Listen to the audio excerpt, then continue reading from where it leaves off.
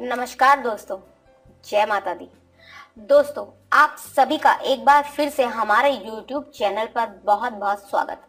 दोस्तों, अगर आप किसी को भी अपने वश में करना चाहते हैं तो आज मैं आपको इतना आसान व सरल उपाय बताने जा रही हूँ, जिससे आप किसी को भी अपने वश में बहुत ही आसानी और सरलता से कर सकते हैं। फिर चाहे वो आपका दोस्त हो प्रेमी हो या फिर कोई भी ऐसा इंसान जिसे आप बेहद और बेनतहा मोहब्बत करते हैं। परंतु ये विधि करने से पहले दोस्तों, मैं आपको एक बार बता दूँ, ये वशीकरण इतना शक्तिशाली है कि इसे बाद में उतारा नहीं जा सकता। तो इस उपाय को सोच समझकर ही कीजिएगा। परंतु आपको एक बात का खास ख्याल रखना है कि आपने ये उपाय किसी को भी बुरा करने के लिए नहीं करना है।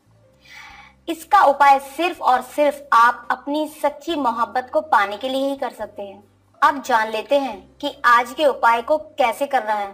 तो दोस्तों, आज की विधि करने के लिए आपको सिर्फ़ ये करना है कि यदि आप किसी महिला या पुरुष से प्रेम करते हैं, या फिर कोई महिला आपसे नाराज़ है, या फिर कोई महिला आपके पति को अपने वश में करना चाहती है तो आप यह तरीका इस्तेमाल कर सकते हैं।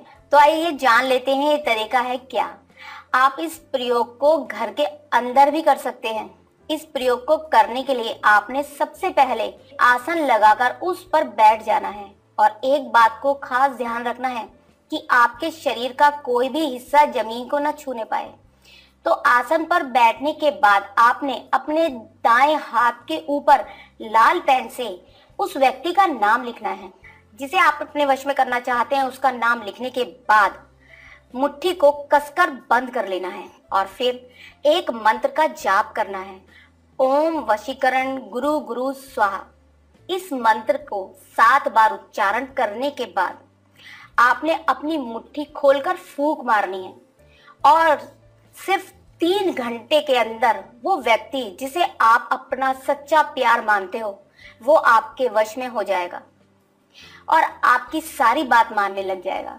और ये विधि करते वक्त आपको एक बात का खास ध्यान रखना है कि यह विधि करते वक्त आपको कोई देख ना सके।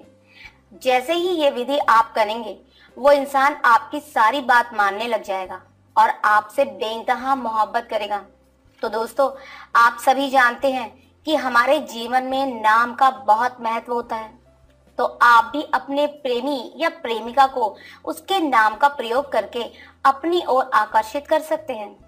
तो दोस्तों, अगर आप भी चाहते हैं कि ऐसा हो और वो आपके वश में हो जाए तो आप स्क्रीन पर दिए गए नंबर पर कॉल करके अपने नाम के अनुसार, अपनी राशि के अनुसार अपना मंत्र प्राप्त कर सकते हैं। तो देर ना करें, जल्दी ही हमें कॉल करें या व्हाट्सएप करें। जय माता दी।